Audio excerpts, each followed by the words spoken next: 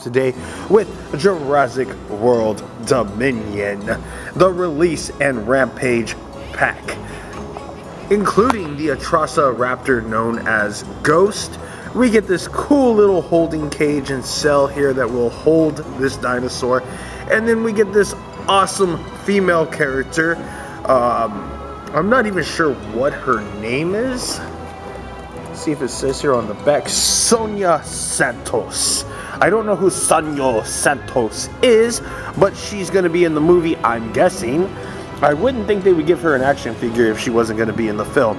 So that will be interesting to see what kind of part she plays.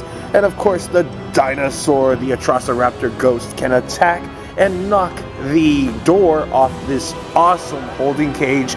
This is something close to what we've seen in the original Jurassic Park film, the actual raptor cage in which uh, Muldoon and the construction workers and the one who got mauled was actually releasing the Velociraptor into the holding, the well, not the holding pin, but the raptor cage or paddock. There it is the raptor paddock as i would say.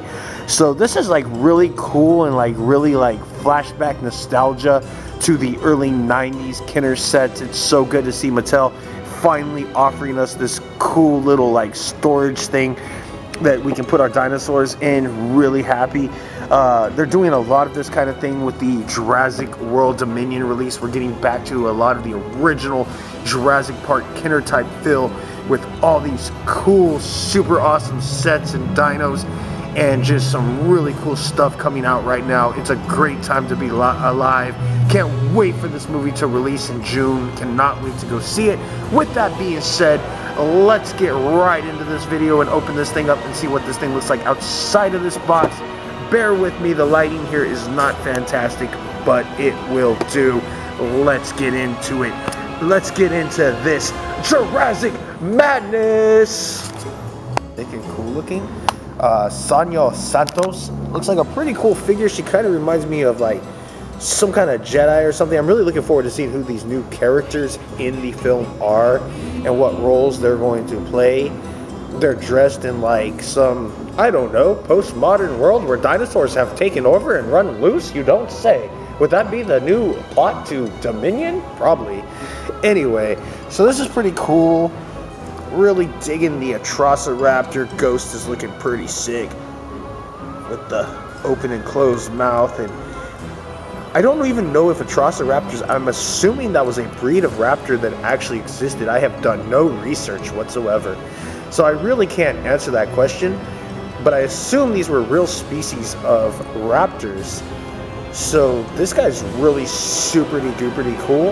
And I will get back to the scan code, which is located right here in the back between the hips of the Atrociraptor Ghost. And then I will uh, allow that to, you know, kind of stay on screen for a minute so you guys can scan it into your apps. And then you will too have a Atrociraptor Ghost, which is pretty cool. So then we get this thing which is like one of the cooler things that we've seen. It's got some pretty good detailing.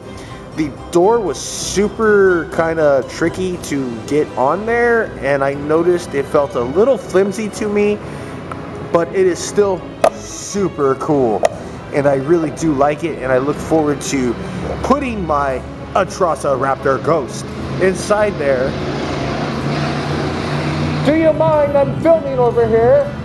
Anyway, I look forward to seeing what it's going to be like putting this guy inside this here container unit, whatever you want to call it, containment for the Atrociraptor Ghost.